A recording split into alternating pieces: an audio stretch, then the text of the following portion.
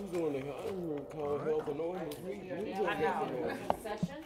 We return to open session now at eight ten PM, and I entertain a motion to certify. So moved. Is there a second? Second.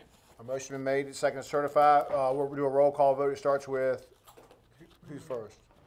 We'll just go left, we'll go left to right. Certify? Certified. Certified. Certified.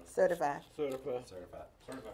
Uh, everyone is certified. The motion carries seven zero. There is no action to be taken. We will continue this meeting to the public hearing next Thursday at seven o'clock. That's June sixteenth at seven PM. And of course, our regular council meeting will be a week later than normal because of Juneteenth. That will be on Monday, June twenty-seventh. Is that right? Yes. All right, seven o'clock. No further business. I declare the meeting adjourned at eight eleven PM. I can't believe you promised to have a meeting on board of supervisors.